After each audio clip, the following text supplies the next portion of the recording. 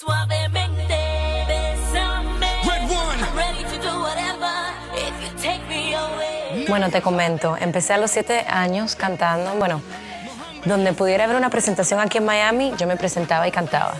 Y a los 14, 15 años tuve mi primer record deal con Sony. Y bueno, ha sido una trayectoria bastante, bastante entertaining, entretenida. bueno, yo conocí a Pepo cuando estaba filmada con Sony.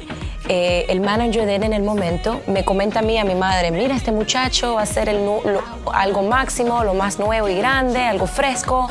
Hicimos una canción juntos y, y nada, lo conocí en aquel entonces y unos años después nos encontramos otra vez y empezamos a hacer negocio. Yo hice eh, dos videos con Pitbull, hice Bon Bon y I Know You Want Me, y lo hice por pura diversión. Pero te comento que Give Me Everything fue, o sea, una bendición.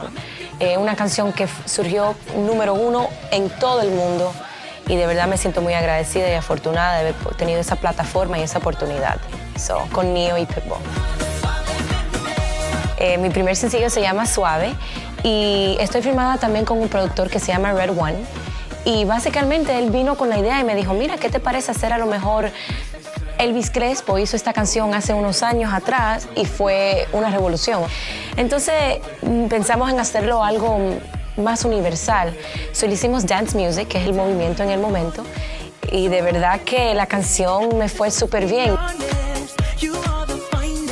Para esos televidentes o los que me están oyendo, mi Twitter es at Music.